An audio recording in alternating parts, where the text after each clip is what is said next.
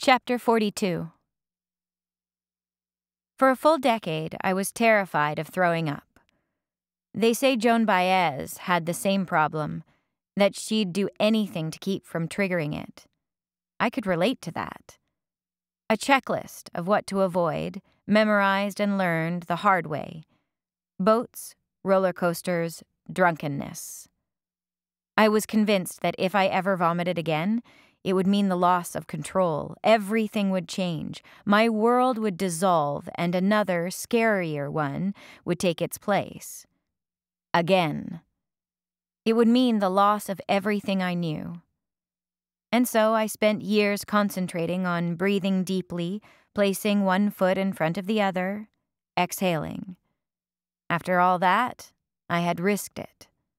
I had gotten drunk, puked on the sidewalk, and made it, intact, back to my apartment. Nothing calamitous had happened. My stomach was still sore and heaving when I collapsed onto my couch, but I had stopped vomiting. I drank as many glasses of water as I could and started to feel better. It was then that I realized I was sick of being afraid. I decided that that day was to be a day of lasts and of firsts. It would be the last day I would be scared of my own reactions, the last time I would allow the familiar burning surge of fear in my stomach. It started with the early morning hours of first time sex and would end with, for the first time, making it to the other side. Don't you want to know why I'm doing this? I waited. Nothing. This is your last chance. Don't try to change my mind. It's something I have to do.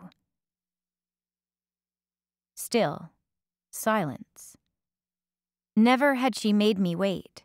She had pounced on our dialogues like a hungry feral cat. She had no one else. Then, just like that, it was over. For the first time in ten years, there was no response. She really was gone. She made the ultimate sacrifice her life for truth an escape from hypocrisy, a vengeful refusal to surrender. For a decade, that's what I'd clung to. But maybe it was meaningless. Maybe hers was another senseless, preventable suicide, a statistic. Maybe her strength was in fact her weakness. Maybe neither of us had really understood what we were up against. And maybe it didn't matter anymore. The rope ladder swayed as I climbed. One hand, one foot, one hand, one foot. Don't look down. When I reached the top, I felt as though I was swaying. But there was no wind up there, and couldn't have been. I steeled myself. What I would have told her was, I wasn't doing this for her. I was doing it for both of us. This is it. Almost there. Don't think about it. Just keep going.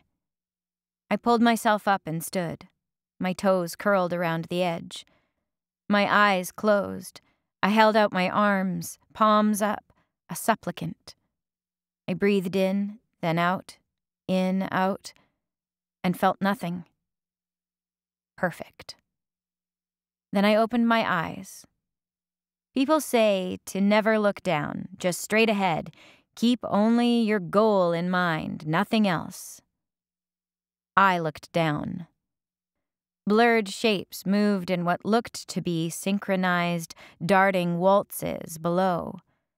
A loud buzz surged through me, and I gritted my teeth and closed my eyes for a moment, then opened them wide. Here's to us, Lenora. And then I stepped from the platform.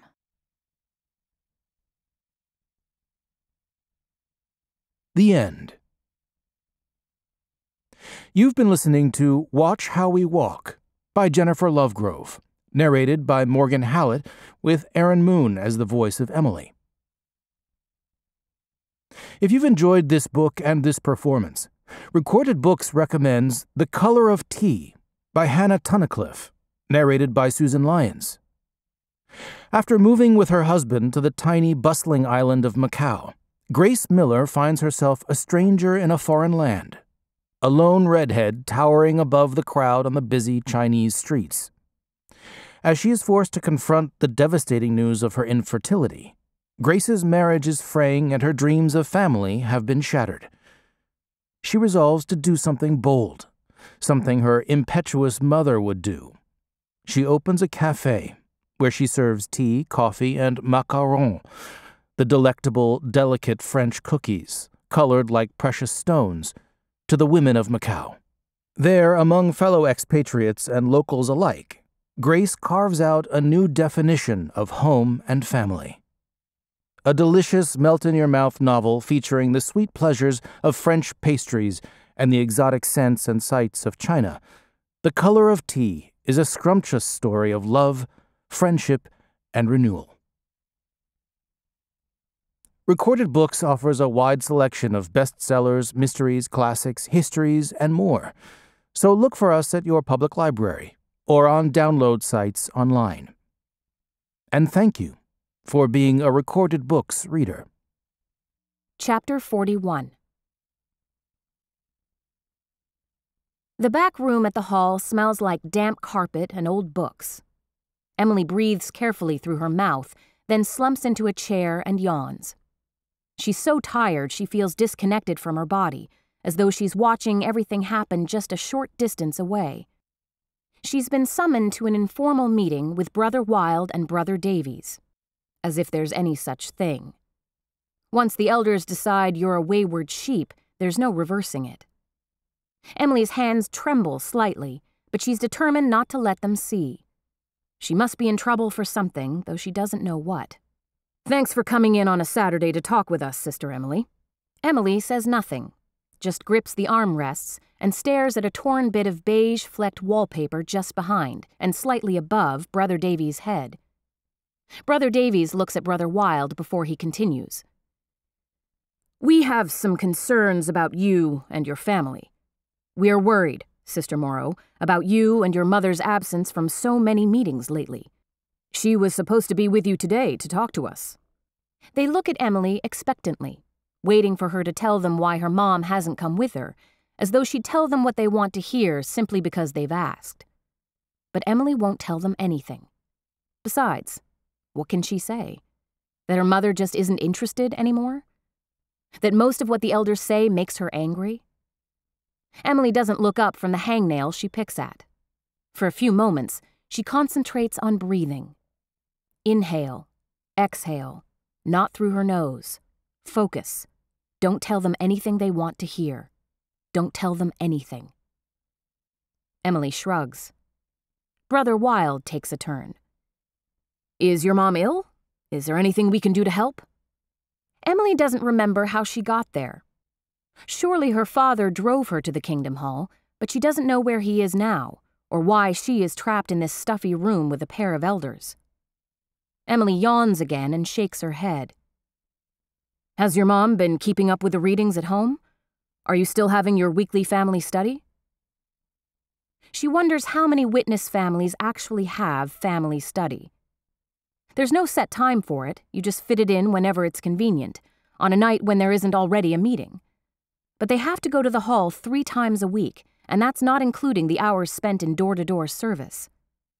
Emily and her parents rarely have family study, all of them around the table reading and discussing the latest watchtower, like they're acting out a miniature meeting. Emily squints as though trying hard to remember. Her dark hair is in her eyes, and that is somehow making it very hard to concentrate. She is acutely conscious of hundreds of hairs shrouding her periphery. She wills herself to focus by biting the inside of her lower lip. I don't know, sometimes. Brother Wilde and Brother Davies look at each other. You don't know? That's right, I don't know. I have no idea if she's doing the readings or not. I see. Brother Wilde adjusts his blue striped tie. We're disappointed she isn't with you today. We thought that some words of encouragement might help her, might strengthen her faith. Oh. Emily snickers and tries to disguise it with a cough. Brother Davies raises an eyebrow and looks at her. His face suddenly fascinates her. How do you do that? Do what? Lift up just one of your eyebrows. It looks really cool. Brother Davies frowns. Emily, we know that your family has been through a lot. This is the time to turn to Jehovah God for support, to praise Him, not to turn your back. Emily grips the armrest so hard her knuckles glare white and throb. Been through a lot. What do they know? The only suffering the elders know is what they read in the Bible. They haven't had their favorite uncle or only sister ripped away from them. Emily sits up straighter and looks at them. They look at each other. They shift in their chairs and loosen their collars. Maybe Emily will be disassociated from the congregation. She's not baptized, so they can't disfellowship her, and though she's never heard of anyone so young being disassociated, she doesn't put it past them. Perhaps they want to eradicate Emily's entire family. Just as Jesus said in the book of Matthew, there will be great tribulation, such as has not occurred since the world's beginning until now, no, nor will occur again. Maybe the elders are trying to create their very own, uniquely local version of the Great Tribulation. They took away Lenora and her Uncle Tyler. They're trying to make her crack. They're playing God. Are you okay, Emily? Brother Davies' upper lip is wet and glistening with sweat. Is this a judicial committee? What did I do? Lenora was called before a judicial committee shortly before Emily found her. In her long note, she described the leering, beady eyes of the four elders, how they kept her in this very same room for hours, asking her detailed, personal questions about Theo and what they did together. She was smart, though, and even though you're not allowed to make any record of a judicial committee hearing, she wrote everything down. There were questions about her gross misconduct, her grievous sins, her fornication.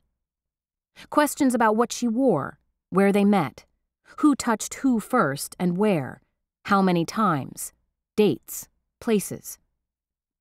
At first, she resisted, but they wore her down. They kept her there all day, and it was dark when she left. They wouldn't even let her take a break to go to the bathroom. Finally, she gave up denying anything. She couldn't hide it anymore. Nor did she want to. I told them what they wanted to hear and more. I told them everything. I just didn't care anymore. What did I have to lose? When they asked me what underwear I was wearing the first time with Theo, I didn't just tell them black lace. I showed them. I made them look. They didn't even try to stop me. Eventually, they said, Lower your skirt, Sister Morrow, in that same condescending voice they all have but not until each of them took a good look. In order to disfellowship Lenora, they were supposed to have an eyewitness to her sins. They didn't. But they knew it was only a matter of time, so they started the process to subdue her. It was a game with them. They didn't try to help her, to counsel her, or to forgive her mistake. They didn't offer her the chance to repent. They told me I'd be disfellowshipped as soon as it was obvious that I was pregnant. That then everybody would be a witness to my sin. Emily sits there, in the room she's been in hundreds of times, but that she will never look at the same again. The room where the elders draw the curtains when someone is in trouble. The room they kept Lenora in, relentlessly, and probably Uncle Tyler, too, and now her. Of course not, Emily. You're not in any trouble.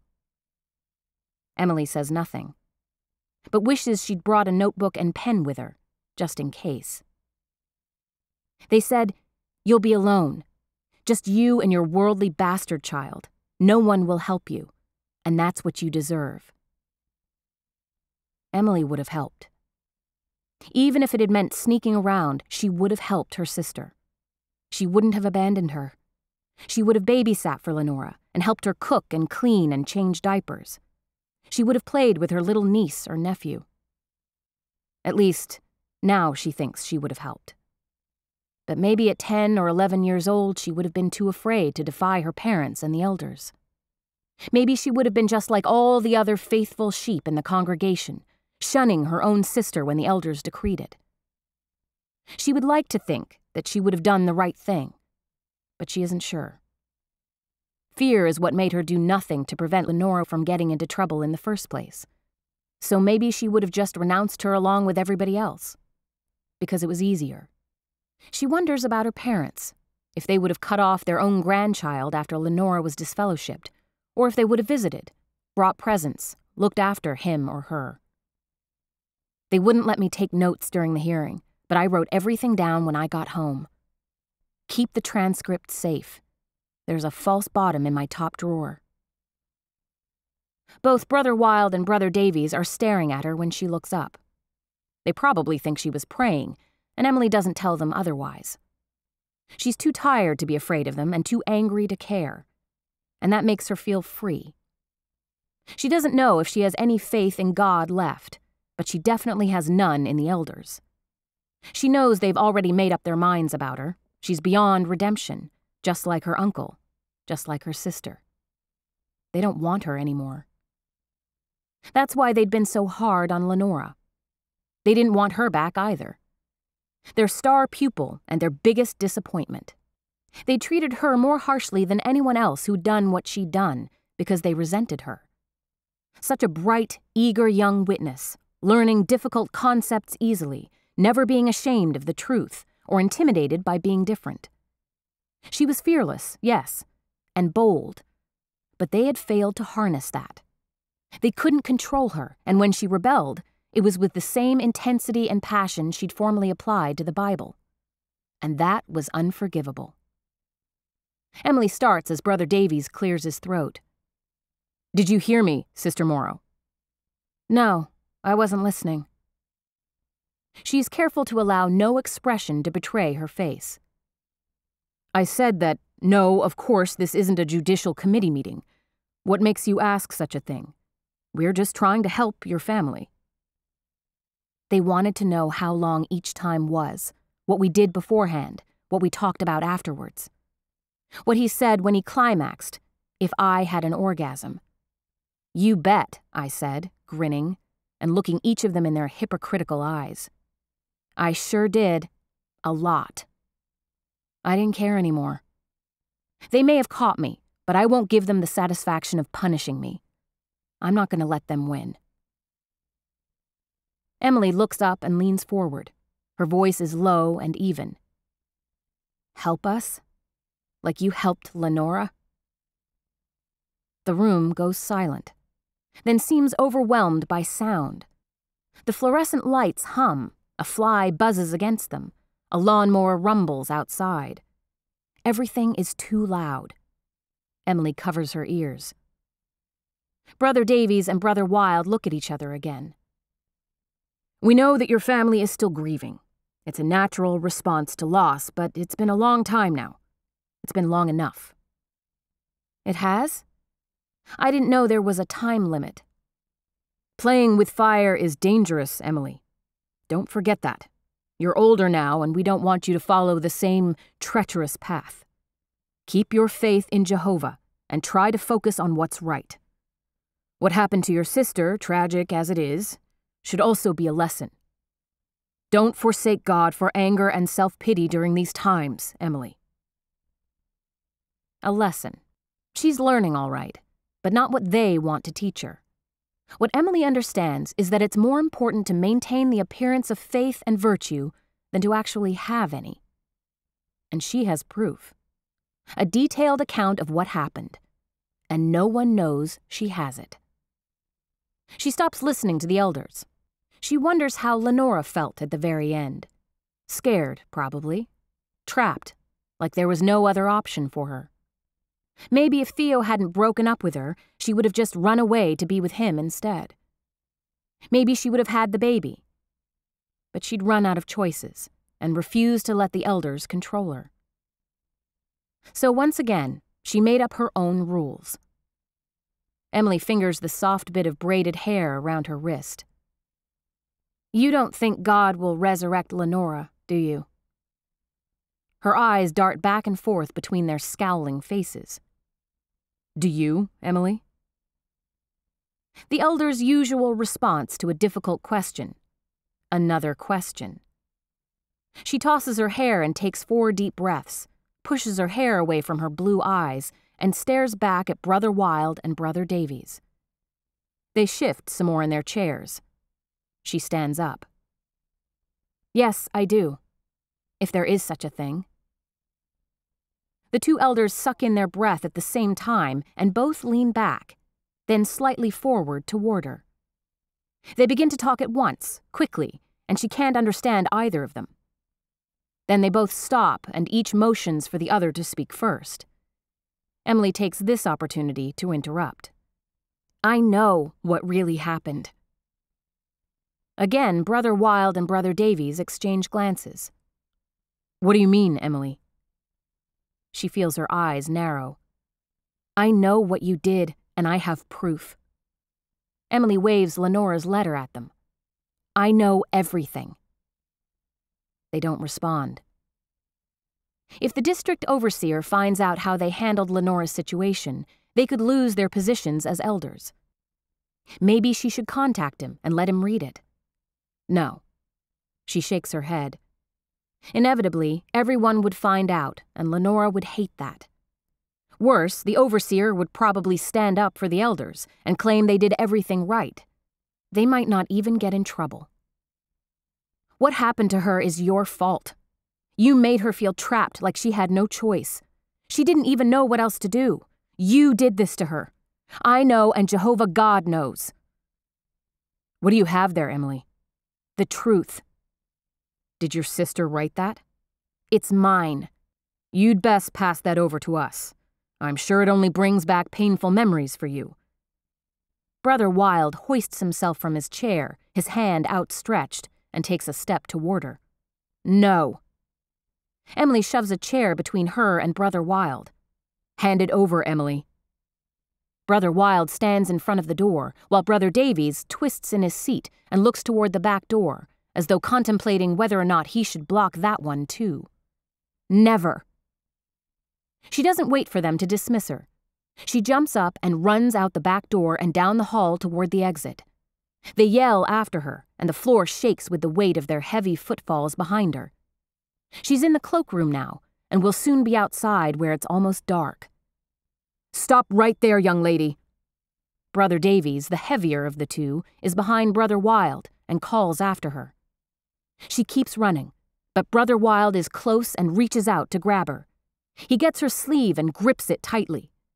Brother Davies lumbers toward them, almost caught up. Emily's eyes dart left, then right, and she knows that if Brother Davies reaches them, she will be outnumbered and they will have her. And Lenora's letter.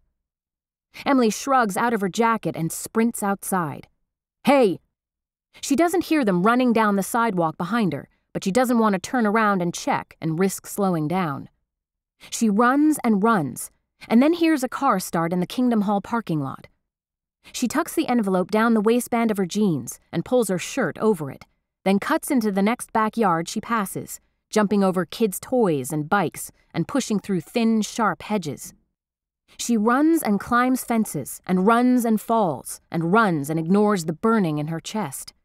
She zigzags through side streets, cuts through more yards, and hides behind parked cars whenever anyone drives past her. By the time she reaches the outskirts of town, the sky has darkened and the wind has died down, and Emily slows to a walk. She walks and walks, and she doesn't know where she's going, but she doesn't care. A light rain begins to mist her thin arms, and she shivers. She's far from her house, where the elders are probably drinking instant coffee in the living room with their parents, waiting for her. Her father is most likely apologizing. Her mother, sipping sloppily from her travel mug and refusing to either speak or leave the room so they can talk about her. As Emily imagines the scene, she forgets to hide from the passing cars, and there's a crunch of gravel behind her. She spins around and is about to run across the lawn of the nearest house when she hears her name. Hey, you need a lift? Emily stops, turns, then shields her eyes from the glare of the headlights. It's not the elders.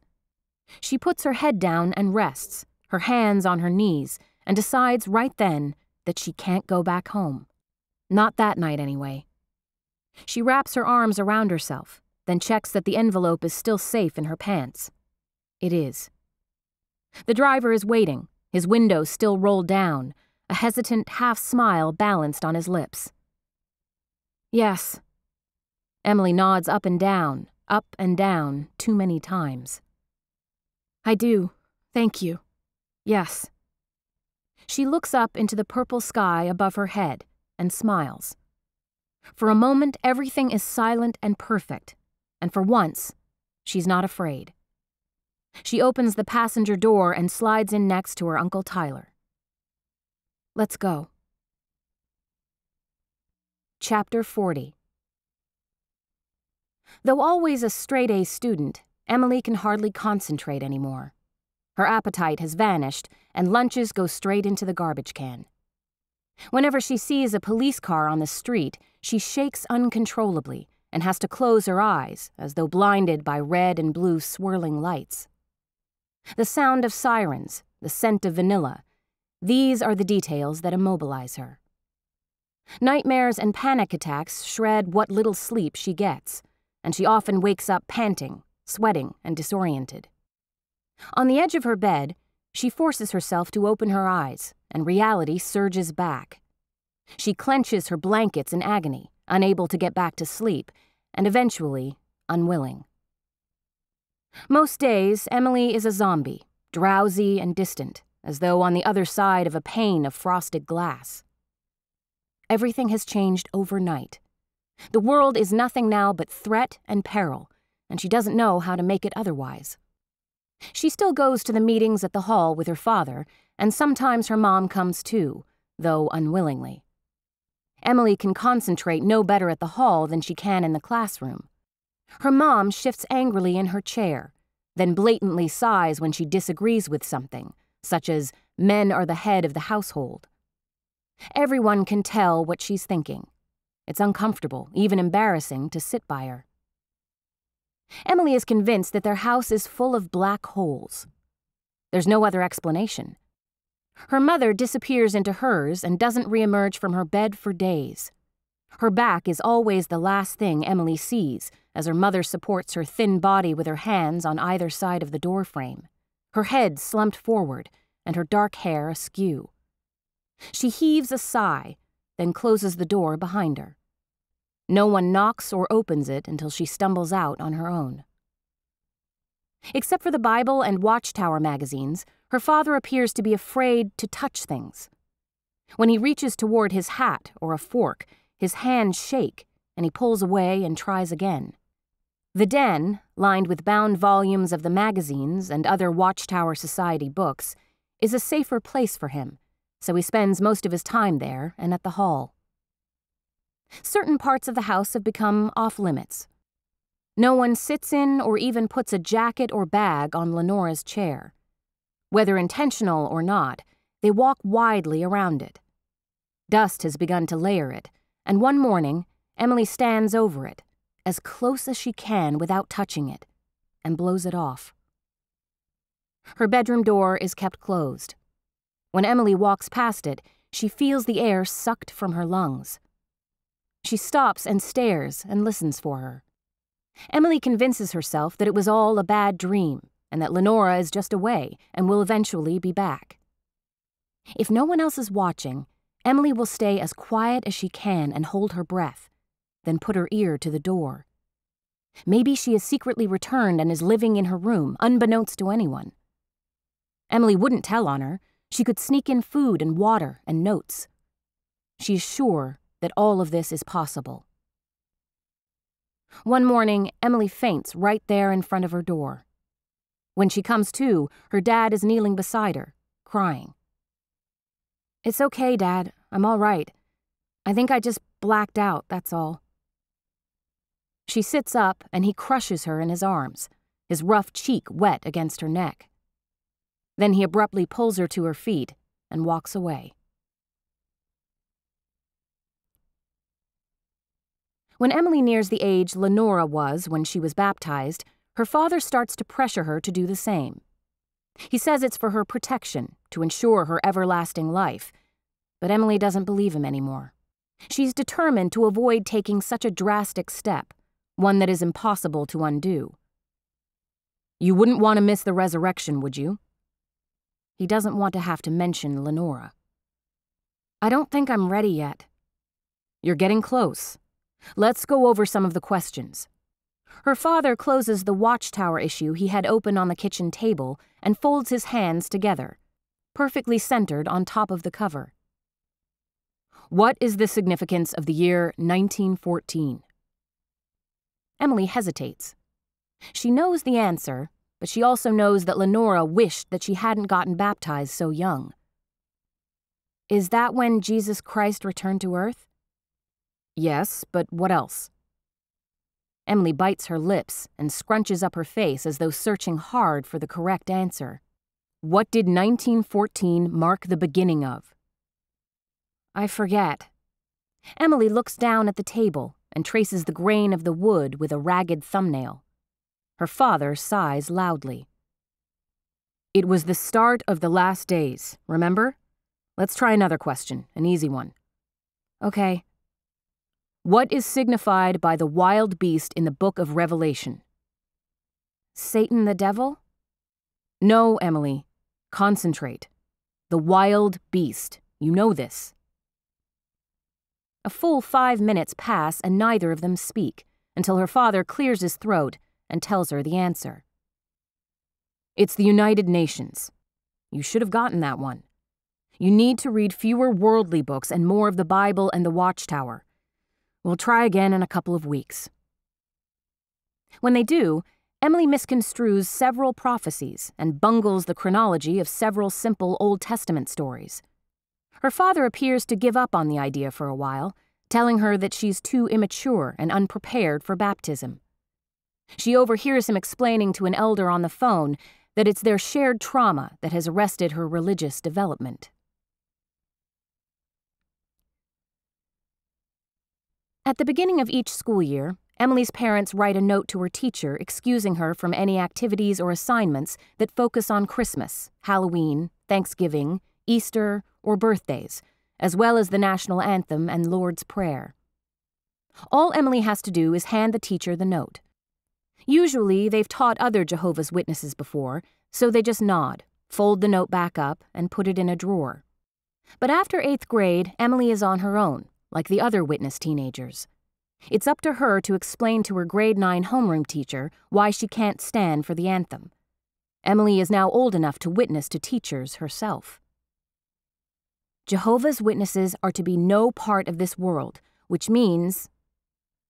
Other kids obsess over their first day of high school outfits, and Emily worries a little bit over what to wear too, but mostly she dreads trying to explain their religion to a new teacher. She practices what to say and hopes she can get there early before any other students arrive. Well, it means that we have to keep apart from politics, stay neutral about government. Every rehearsed explanation sounds awkward and ridiculous, so she asks her mom what to say. Just tell them it's against your religion. She doesn't look up from the television and just waves her away. Emily wishes she could remember what her parents used to write in her notes in public school. Maybe she could just forge a note. What had Lenora said to her teachers? Her explanation was probably concise and confident. She would never have been this afraid. Emily barely sleeps the night before her first day of high school, and the insides of her cheeks are raw from biting them and grinding her teeth. She wakes up disoriented and nauseated, but doesn't call out to her parents for comfort. They barely speak to her, or to one another at this point anyway. Emily knows they still care about her, at least she thinks they do, but they're too preoccupied with their own guilt. It's as though they've crawled into the damp caverns of grief, lain down, and forgotten about Emily. She can't shake off her unease as she waits until it's time to go to the monstrous high school. She switches on the light and picks at her gums until they bleed, then scratches her sister's initials into the margins of the Watchtower article lying open nearby. The secondary school's hallways are wide and dim and loud with teenagers. The older kids lounge in clumps along the lockers and jeer at the nervous ninth graders. Emily keeps her head down and ignores taunts of minor niner and loser. She finds her locker and fusses with the lock, but eventually gets it open, puts her jacket away, and finds her homeroom. She pauses in the doorway. The classroom is almost full, and there are very few familiar faces. In the front corner of the room, there's a girl in a tight denim dress and bright pink shiny lipstick, her blonde hair crimped to a nearly impossible volume. If it wasn't for her same thick, round glasses, Emily would never have recognized Agnes the Pentecostal. She stretches up in her seat and waves. She looks like an exotic bird taking flight. Emily smiles back. A few boys from her old school sit together near the back, all elbows and pimples and rattling chairs. The room smells like a combination of sweat, wet wool, and cheap perfume. The teacher is young, probably new, with her long, dark hair clipped back, and she wears a black skirt and white blouse. She fidgets with a small gold cross around her neck, and Emily knows she won't like her rehearsed speech about abstaining from the national anthem and the Lord's Prayer. Emily stands in the doorway for a moment, unsure what to do. Then she closes her eyes briefly and remembers when Lenora pulled Tammy Bales off her in the ditch and when she would change out of a miniskirt and into corduroy pants on the way home from school, and when she would do her hair before going to the Kingdom Hall and tell Emily her secrets. Then she has a flash of the last time she saw her. Her stomach constricts briefly, and another student elbows her out of the doorway. Emily knows what to do. As the rest of the students file in and slump down into seats, she walks over to a desk near Agnes and sits down. Agnes smiles and Emily grins back. She doesn't even look at the teacher and doesn't hear the woman's name when she introduces herself. Emily grips the side of her desk, steeling herself. When O Canada crackles through the public address system, her heart thuds like a huge bird against the cage of her ribs. The entire class must be able to hear it over the music. Then she stands up. She doesn't leave the room. She just stands up like everybody else. Her head feels light, she's dizzy, and feels more conspicuous than if she'd been standing outside the room in the hallway like every year before. She twists around to look at what her classmates are doing, how they're standing, if they're looking up or down or straight ahead, if they're singing along. Emily doesn't even know the words to the national anthem. She stands next to her desk, shuffling from foot to foot, and wills it to be over quickly. When she sits back down with the rest of her class, she feels a rush of adrenaline. She can't stop grinning. She knows that there's no way she can get away with it. The town is just too small, and sooner or later, she'll be found out. She's going to get in big trouble, not just with her parents, but with the elders, too. But for once, she doesn't care. For the rest of the day, she holds her head high sailing from class to class, sitting where she wants, talking to whomever she chooses, as she imagines Lenora had. At 3:30, the bell rings and she smiles, amused that her first act of rebellion has been one of conformity.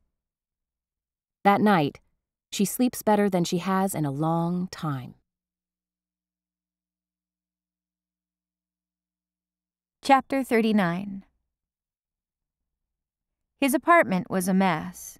The air was too warm, and it smelled of stale smoke. I tripped over a guitar case and gouged my shin on an amplifier when we came in. He took me by the hand and led me to the edge of his unmade bed, where we kissed some more.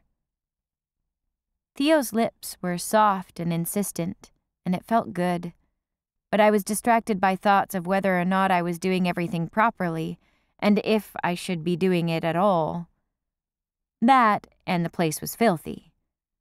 I tried to ignore the dirty dishes that littered the small table, stove, and counter.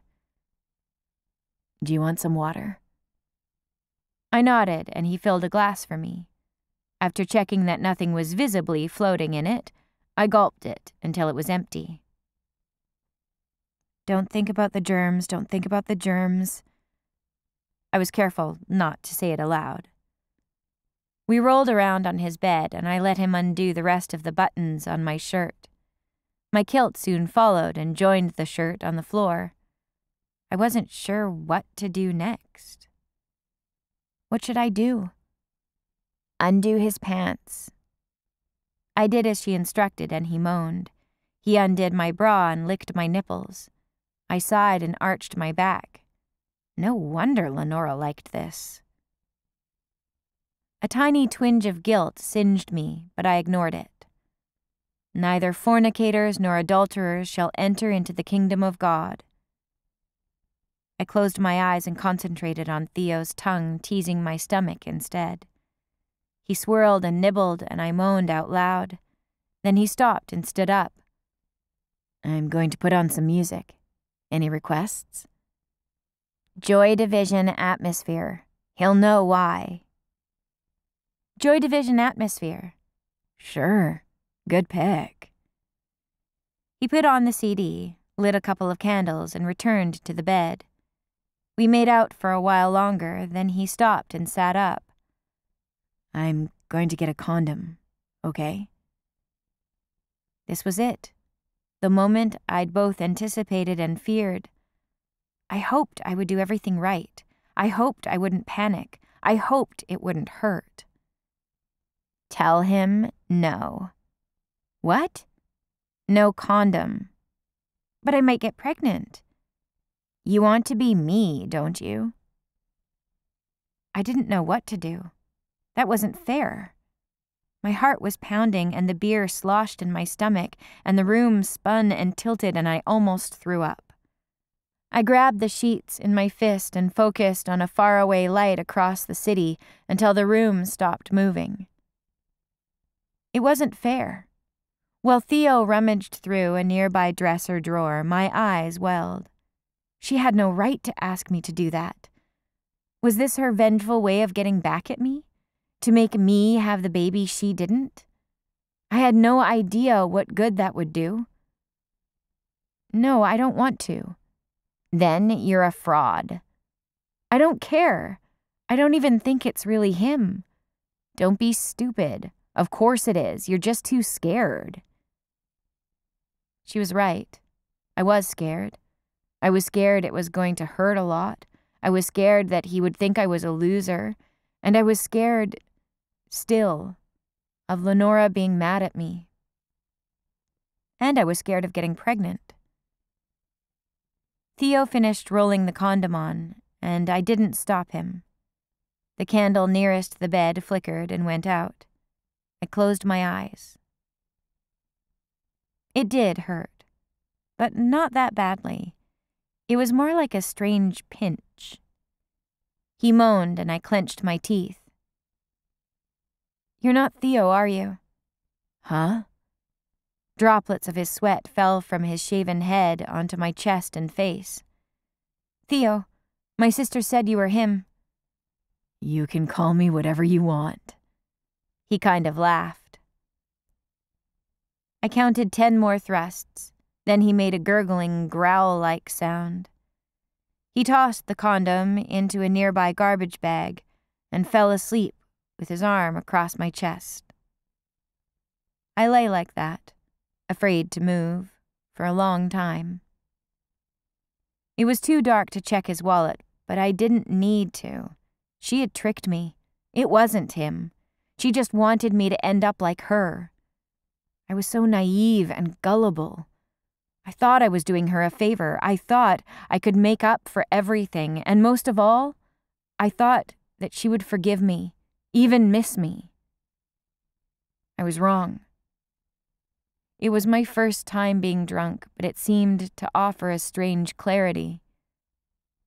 I knew I wanted to stay there and figure out if I wasn't going to be Lenora, who I really was.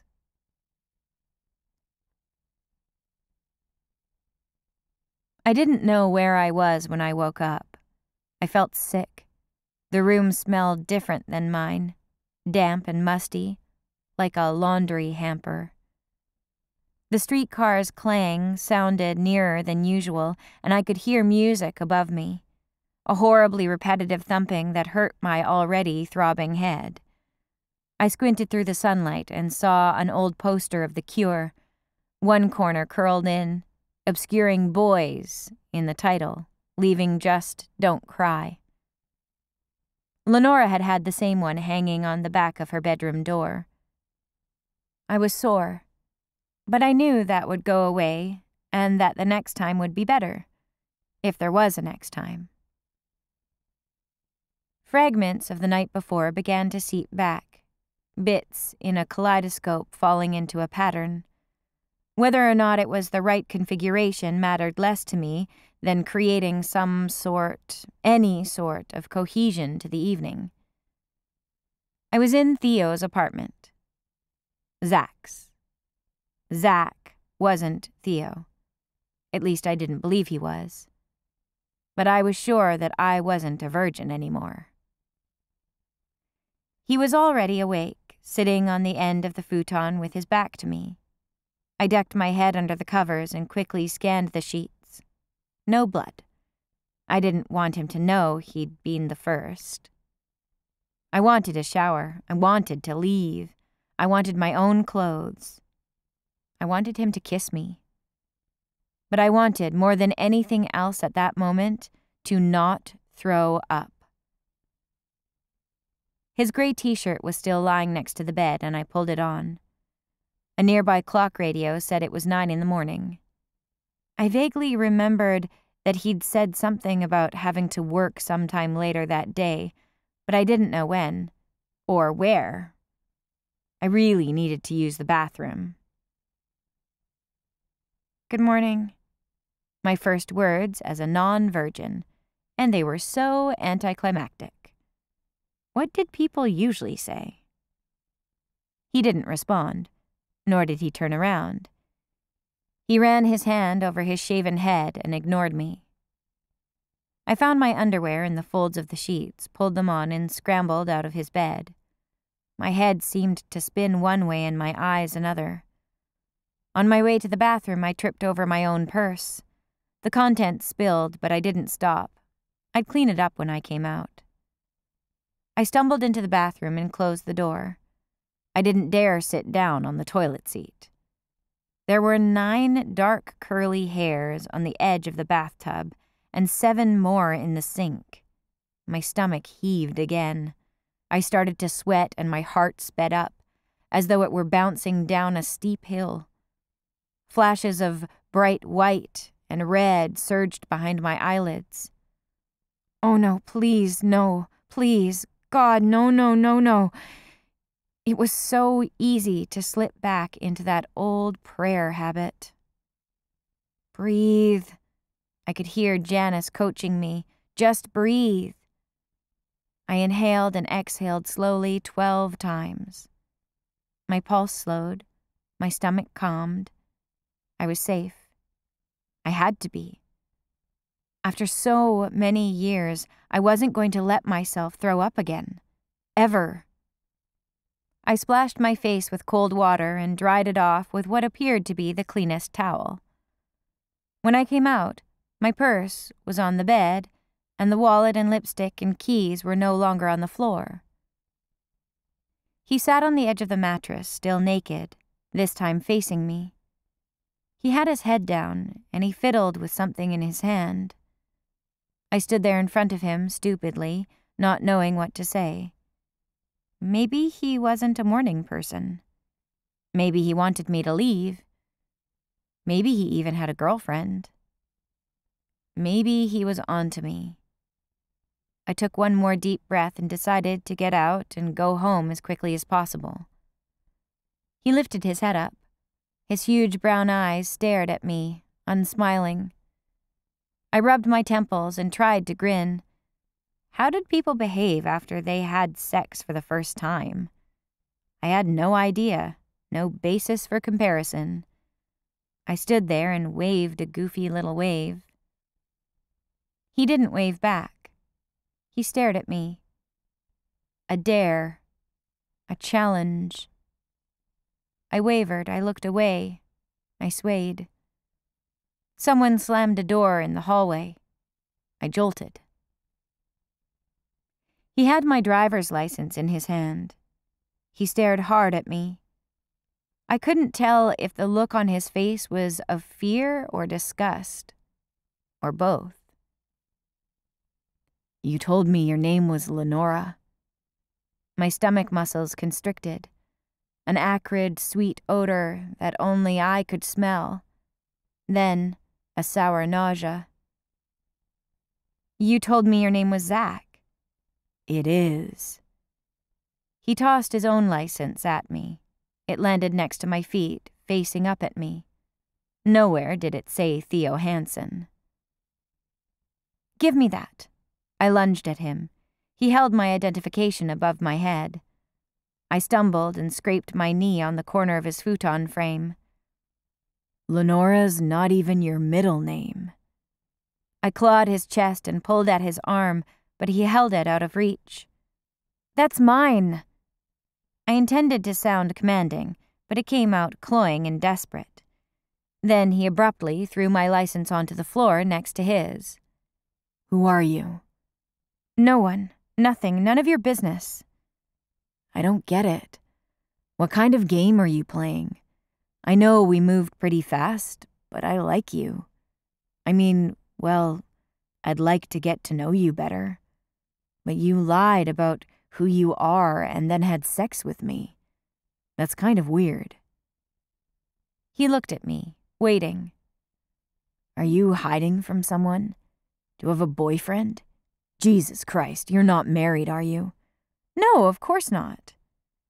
I scrambled into my clothes and grabbed my coat. He pulled on his plaid boxer shorts and leaned against the window ledge, smoking a camel light. I opened his door to leave. I'm sorry. It's hard to explain. I'm a pretty good listener. He took a step toward me, then stopped. It's impossible to explain. Well, if you change your mind and want to hang out and talk, call me. I left my number in your purse. But no bullshit. I walked out, pulling the door closed behind me, and ran down the three flights of stairs to the icy street. Instinctively, I reached for the bracelet around my left wrist, then stopped and grabbed the handrail trying to catch my breath. Light as it was, made of braided hair, I had worn it every day for a decade. We hope you enjoyed this preview. To continue listening to this audiobook on Google Play Books, use the link in the video description.